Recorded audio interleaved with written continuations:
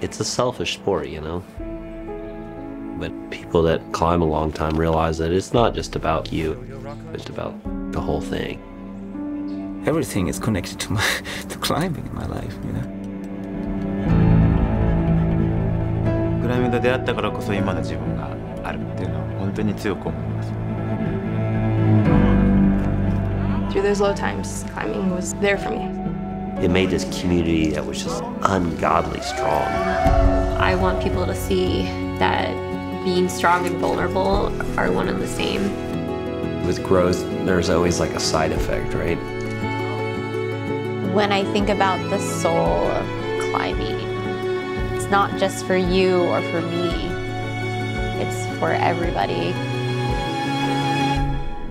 This is just beginning. You haven't seen anything. You haven't seen anything